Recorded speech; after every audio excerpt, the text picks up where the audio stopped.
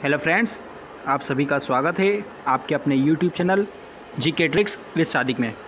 दोस्तों, कल जैसा कि आरआरबी एनटीपीसी सीबीटी वन के रिज़ल्ट से रिगार्डिंग एक सोशल मीडिया पर बहुत ही ज़्यादा एक नोटिस जो है वायरल हो रहा था, जिसमें बताया जा रहा था कि आपका 10 सितंबर को रिज़ल्ट घोषित कर दिया जाएगा रात को आठ बजे सभी आरआरबी के ऑफिशियल वेबसाइट्स पर। परंतु इसी के रिगार्डिंग कई सारे दोस्तों के मन में एक क्वायरी है, एक डाउट रहता है दोस्तों के मन में कि क्या कभी आरआरबी आरआरबी जो है, क्या कभी आरआरबी किसी भी रिज़ल्ट से पहले कभी कोई नोटिस देती है? पहला क्वेश्चन ये आता है। दूसरा क्वेश्चन ये भी आ रहा है कि पहले N T P C C B T one की रिवाइज आंसर की आएगी या फिर डायरेक्ट रिज़ल्ट आएगा। उसके बाद तीसरा एक क्वेश्चन ये भी है कि मिनिस्ट्री आइसोलेटेड कैटेगरी और N T P C C B T one का रिज़ल्ट साथ में आएगा। तो इस तीनों क्वेश्चन के बारे में हम आपको आंसर देंगे। तो वीडियो को अंत तक ज़रूर देखिएगा, वीडियो के साथ अंत तक बने रहिएगा। दोस्तों के साथ इस वीडियो को ज़्यादा से ज़्यादा शेयर कीजिएगा। इससे पहले जो चैनल पर नए हैं प्लीज़ चैनल को सब्सक्राइब कर बेल आइकन ज़रूर दबाइएगा, रेलवे भर्ती बोर्ड की पल पल की अपडेट्स के लिए। और हाँ दोस्तों, हमारे चैनल पर सिर्फ़ आपको ऑथेंटिक जो ऑफिशियल चीज़ें होती है, वही आपको बताई जाती है, कोई भी फेक न्यूज़ नहीं बताई जाती है। तो चलिए हम दोस्तों वीडियो को शुरू करते हैं। इससे पहले जो चैनल पर नए हैं प्लीज़ चैनल को सब्सक्राइब कर बेल आइकन ज़रूर दबाइएगा और अपना प्यार ऐसे ही बनाइए रखिएगा। तो चलिए दोस्तों हम वीडियो को शुरू करते हैं। तो दोस्तों, कई कल जो है सोशल मीडिया पर एक नोटिस जो वायरल हो रहा था कि R R B N T P C C B T one का रिज़ल्ट दस तारीख को आ जाएगा। ठीक है, उसी के रिगार्डिंग ये जो क्वेश्चन है, दोस्तों के मन में मतलब आया है कि क्या आर आर बी किसी भी रिज़ल्ट से पहले कभी कोई नोटिस देता है? तो हम ये इसका आंसर जो बताएँगे, आपको यही बताएँगे कि हाँ दोस्तों, जब भी आर आर बी कोई एग्ज़ाम लेती है, ठीक है, या तो सी बी टी वन हुआ या सी बी टी टू या फिर एप्टीट्यूड टेस्ट क्यों ना हुआ, जब भी उसका रिज़ल्ट दिया जाता है तो उससे पहले नोटिस जारी किया जाता है।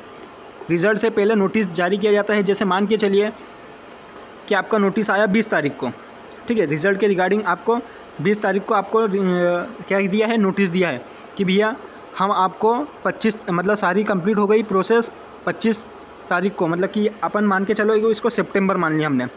बीस सितंबर को आपका नोटिस आया रिज़ल्ट से रिगार्डिंग और उसी में लिखा होता है कि 25 तारीख को हम आपका रिज़ल्ट दे देंगे या फिर 25 से एक दिन आगे पीछे। मतलब तारीख दे दी जाती है कि मतलब कि पच्चीस तारीख या उससे बिफोर मतलब उससे पहले दे दिया जाएगा रिज़ल्ट ऐसी मतलब वो अपनी तरफ़ से बात रख दी होती है। या तो पच्चीस को दे देते रिज़ल्ट या फिर उससे पहले भी दे देते हैं। उसी के साथ में रिज़ल्ट के साथ उसके बारे में और क्या लिखा जाता है कि आपकी जो मास्टर की होगी, ठीक है मतलब जो फाइनल आंसर की होगी, वो भी उसमें आ जाएगी। और उसमें साथ ही साथ आपका अपने स्कोर कार्ड भी देख सकते हैं।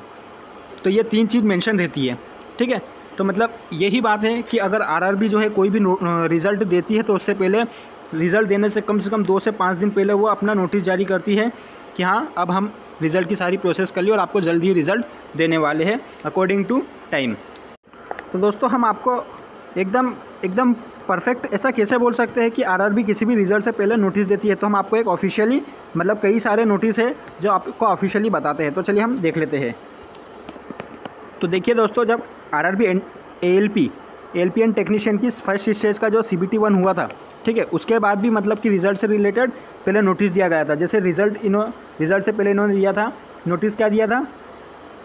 कि government of India railway recruitment board central I employment L P technician का नंबर था, ठीक है notice on first stage C B T exam date for second stage ठीक है, इसमें सेकंड स्टेज की भी इन्होंने तारीख मेंशन कर दी थी। उसके बाद देखा था तो देखिए, इन्होंने बताया था इसमें the result of first stage computer based C B T with was with the list of provisionally shorted, shortlisted candidate for appearing in second stage CBT have been published on the official website. ठीक है?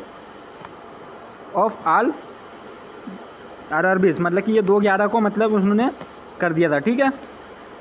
ये दो ग्यारह को इन्होंने mention किया था कि दो ग्यारह को हम उससे पहले रिज़ल्ट को घोषित कर देंगे। तो इसी प्रकार से देखा जाए तो दोस्तों कई सारे जो आरआरबी की जो एग्ज़ाम्स हुई है उनमें आरआरबी जो है जब भी सीबीटी वन लेती है या सीबीटी टू लेती है कोई भी एग्ज़ाम लेती है तो रिज़ल्ट देने से पहले ही अपना नोटिस जारी कर देते हैं कि हम इस तारीख को आपका रिज़ल्ट दे देंगे, उसके साथ ही मास्टर की भी दे देगी। ठीक है, और आपका स्कोर कार्ड भी दे दिया जाएगा। बस यही बात है, आगे बढ़ते हैं। उम्मीद करता हूँ आपको दोस्तों समझ में आया होगा, हमारा चैनल जो है, हमारा यूट्यूब चैनल जो है, ये सिर्फ़ और सिर्फ़ आपको ऑथेंटिक और जो ऑफिशियल चीज़ होती है, उसी को आपको मेंशन करके बताया जाता है। दूसरा क्वेश्चन है N T P C C B T one की रिवाइज्ड आंसर की आएगी या फिर डायरेक्ट रिज़ल्ट आएगा? तो दोस्तों ये भी एक इम्पोर्टेंट क्वेश्चन है। ठीक है? तो यहाँ पर हम आपको बताते चले कि जब भी एग्ज़ाम्स होती है, जैसा अभी R R B N T P C की एग्ज़ाम हुई, उसमें सी बी टी वन की जो है आंसर की दी एक बार, ठीक है? तो यहाँ पर जो क्वेश्चन है कि रिवाइज आंसर की आएगी या फिर डायरेक्ट रिज़ल्ट आएगा तो यहाँ पर भी दो कंडीशन बनती है दोस्तों, ठीक है? पहली कंडीशन ये होती है कि जैसे आपने ऑब्जेक्शन लिए, कई सारे क्वेश्चंस पर अभी ऑब्जेक्शन लिए गए हैं तो अगर आर भी उन्हें अभी ऑब्जेक्शंस को सही किया, फिर भी अगर लगता है कि हमें एक बार फिर से आंसर की रिवाइज देनी चाहिए तो आरआरबी एक बार रिवाइज आंसर की देगी। अगर उसमें भी किसी प्रकार की गलती होती है, तब का जाके सेकंड अप्लाई होती है, ठीक है? सेकंड जो है कंडीशन अप्लाई होती है कि आपको डायरेक्ट फाइनल आंसर की दी जाएगी। मतलब पहली कंडीशन में यही कहना चाहेंगे कि आपका हो सकता है कि आरआरबी भी एक बार फिर से आंसर की जारी करें, परंतु ऐसा होता नहीं है। यहाँ पर अगर देखा जाए तो दूसरी कंडीशन क्या होगी? कि आपने कई सारे क्वेश्चंस पर सी बी वन के जो है आंसर की पे ऑब्जेक्शन लिए। परंतु आरआरबी ने उसको सब कुछ को करेक्ट कर करके, ठीक है सबको करेक्ट कर लिया और देख लिया कि हाँ भाई सारे क्वेश्चन सही कर दिए, हमने जो क्वेश्चन हटाने थे, वो हटा भी दिया जिनके सही करने थे ऑब्जेक्शन राइज करके मतलब जिनको सही करने थे, जिन पर भी ऑब्जेक्शन रेज किए गए हैं। वो अगर सही कर दिया है तो वो सेकंड स्टेज में क्या करेगा? सेकंड कंडीशन में यही करेगा कि वो डायरेक्ट रिज़ल्ट देगा आपका। और रिज़ल्ट के साथ ही आपको फाइनल मास्टर की आंसर की भी देगा। ठीक है? मास्टर की भी दे देगा या फिर फाइनल आंसर की भी दे देगा और साथ में स्कोर कार्ड भी आपका जनरेट कर दिया जाएगा। तो कहने का मतलब यही है कि मैक्सिमम जो है 99 परसेंट क्या होता है कि सेकंड कंडीशन ही अप्लाई होती है। आपका डायरेक्ट रिज़ल्ट आता है और उसी के साथ में फाइनल आंसर की आ जाती है आपकी। ठीक है? मतलब पहली बार आपने एक बार आंसर की देख ली, अब दूसरी बार डायरेक्ट रिज़ल्ट के साथ आएगी। उम्मीद करता हूँ आपको समझ में आएगा आगे बढ़ते हैं। तीसरा क्वेश्चन है मिनिस्ट्रियल आइसोलेटेड और N T P C C B T one का रिज़ल्ट साथ में आएगा। तो देखिए दोस्तों ये हम अभी कुछ ऑफिशियल तो है नहीं कि साथ में आएगा या नहीं आएगा, परंतु मैं अपना एक पर्सनल व्यू बताता हूँ कि देखिए, लगभग आठ आठ से नौ महीने होने पे आए एम आई क्या?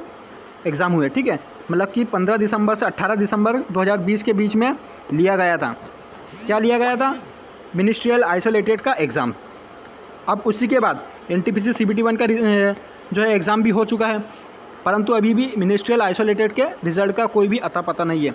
ट्विटर पर इससे रिगार्डिंग कैंपेन भी चलाए गए परंतु अभी तक के आर की तरफ़ से कोई भी नोटिस नहीं दिया गया इससे रिज़ल्ट से रिलेटेड तो बस हम यही कहना चाहेंगे कि दोस्तों 99 परसेंट तो ऐसी ही उम्मीद लग रही है, अगर एन का अगर रिज़ल्ट दे दिया इन्होंने पहले तो एमआई वाले गुस्सा हो जाएँगे।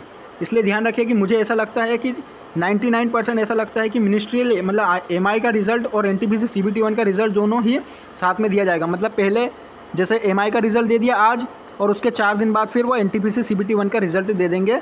ये हमारा ऐसा मानना है हमारे दोस्तों का। ठीक है? हमारा ही पर्सनल व्यू है ऐसा कि एमआई और एन टी पी दोनों ही आगे पीछे रिज़ल्ट देंगे, दो से चार दिन आगे पीछे।